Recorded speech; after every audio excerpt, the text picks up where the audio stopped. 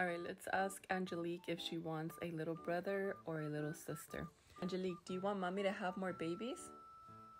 No? Why? No. You want to be my only baby? So this is a question that Nestor and I recently started asking her just to see if she like would want a little brother or sister. Not that we're gonna have one. Like I'm done because she loves playing with little kids everywhere she goes. Does mommy have a lot of kids already? Yeah. Who?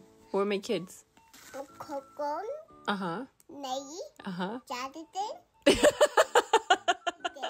Ethan. Hey, who else? I'm missing one.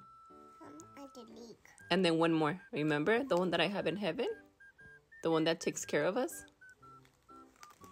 Sebastian. Sebastian, our angel. I've always told Nestor, Nicole, and Jonathan, I'm like, I feel like Angelique thinks that Jonathan is, es su hermano también. And confirmed, she literally thinks that Jonathan is su hermano.